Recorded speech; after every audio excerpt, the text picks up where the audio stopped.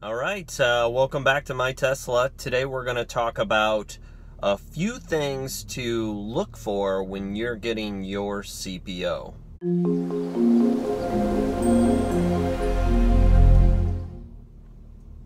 Okay, so um, uh, this is a video that was requested uh, of me to shoot.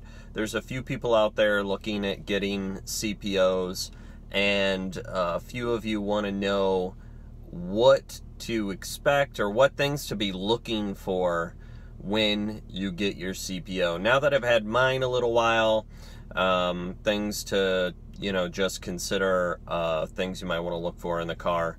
And I want to start off with um, if you are buying your car local or if you're buying your car off site. Uh, what I mean is, uh, for instance, I got mine in Denver and I live in Chicago. So there were a couple things I could not do when um, considering this car. First off, I couldn't look at the car. Uh, you know, um, all I used was the description that they sent to me as a um, this is what the car is. Um, so my I guess my first piece of advice is you need to consider whether or not you want to buy a car that has to be shipped in or if you want to wait until you can find kind of that perfect car in your local area. Um, one downside to buying a car uh, away, obviously, is not being able to see it, sit in it, drive it, see what condition it's in. So, my first piece of advice for anybody buying a CPO out of state, um, one thing that I did not do that I should have done is asked for pictures of the car um, prior to my thousand dollar deposit. And if somebody else puts a thousand dollar deposit on it, okay, I'll just wait for the next one. There are plenty of plenty of them out there. Um, I really should have just in inside outside. What's the condition of the car? I think these are just smart things to do when buying any car. Uh, regardless of it being a Tesla. So that's my first piece of advice is if you're buying a car out of state, ask for pictures of external and internal. Uh, number two, uh, from what I understand, at least my experience, and maybe somebody else out there actually knows for sure, but from my understanding, the cars, uh, the CPOs are not actually certified until they have your $1,000 deposit. So they've got a bunch of used Teslas, uh, some used inventory and as soon as they get a thousand dollar deposit they'll take it through its certification process. So just know that the car is not in its best condition when you are putting your thousand dollars down. So my my piece of advice number two is to request um, a copy of the uh, certification after the car has been certified at least get documentation of what they did to the car. Um, now, they have told me that they cannot give details of what has been done to the car with prior owners. Okay, no problem. But if you have put a thousand dollars down on that car, in my opinion, that car is in process to be purchased by you. You should have the right to have documentation on what has been updated on the car with your purchase. Um, number three would be getting, if there's any body work or anything that needs to be done to the car, I would ask for copies or, excuse me, pictures um, of the car after the body work has been done, just to kind of have an idea. Again, this is all assuming that the car is out of state. If it's local, I think um, you as consumers would be smart enough to drive over, take a look at the car, see what condition it's in. I mean, um, in the long run, what do you have? You, the only thing you'd have to lose is a thousand dollars because once your deposit is down on a CPO, um, it really cannot be transferred to another car um, because once they start that certification process, it is it is yours. So uh, again, that is that is what I understand of it couple things that I've noticed um, on the car that I didn't notice right away. Obviously, anybody who's been watching my videos knows that I did not notice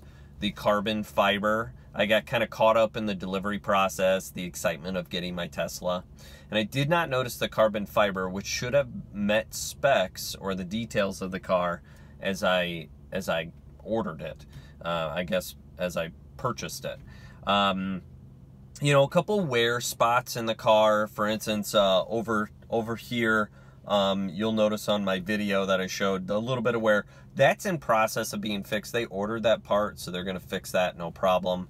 Um, I, they said the brakes are in good working order, but the brakes do make a little bit of noise uh, when I use them. It kind of grip a little bit. I was driving in um, some heavy rain the other day, and I noticed overnight that um, that when I went to go leave the next morning, they they were kind of a little little stuck. So um, the car's got forty thousand miles on it. Um, so you know they are what they are. Um, and I actually, although I use the um, regenerative um, uh, braking a lot, I still find myself when you're going you know 60 miles an hour or something like that, that you're going to have to use your brakes. So just know that. Uh, probably not as much as you normally would, but I guess it depends on how aggressive or how hard of a driver you are. Um, other than that, I would have to honestly say that the car's in good working order. Um, it's uh, it's as brand new as they're gonna is they're gonna make a used car. Uh, in any any issues that I've had with the car, they've addressed it, so I've been very happy. Uh, I, I do want to give just my thoughts as I've been able to drive a couple other Teslas while my car's been in service. That if I had a chance to do it again, I would do this. First off, I would definitely get something older than a 2013, so I'd get a 2014 or newer. And just like any anything closer to being brand new, it's going to be nicer. But I will say that I feel like there's a couple things that I've noticed. First off, is the um, the finishings on the inside of the car on the 2014s is just a little nicer. I feel like they just kind of learned their lessons a little bit in the first couple years. And starting at the 2014s, you'll notice things like the seats feel like they've got more cushion in them. Uh, my seats are great. They're not very narrow. Uh, I have driven a 2014 before where they had what seemed to be pretty narrow pockets on the side where they hit your legs and I just I can't stand that. So I like these wide seats, but they are pretty firm, what I would consider pretty firm leather performance seats. So um, long-term driving, it's fine. I'm comfortable, but in some of the other cars that I've been in, um, they've they're just more comfortable. So that would be one recommendation. Two, I've noticed that, for instance, I have the upgraded sound system in, in this car for the 2013. And um, in the 2014, the bass was by far better than in this car. I mean, the bass was so heavy, it was rattling the uh, rear view mirror in the 2014. In this, it's good. It's really good. But it it was it just feel, felt like it was it was complete it was like a completely different sound system. Um, some of the other things that i was told now i haven't done research or known this but just what people have been telling me for instance um, this car had to have the drivetrain uh, replaced although they've never given me documentation on that. They just told me that they were doing that and i was told that there were known issues for drivetrains on the earlier models. Um, didn't know that until after and then also, as you guys know, I had to get my door handle replaced. Again, another thing I was told uh, has been a known issue. Um, I would also consider a 2014 as I've, you know, as they had the black headliner and I wanted actually an all black interior. These are just some of the things that had I known during my purchase process, I probably would have made some different decisions.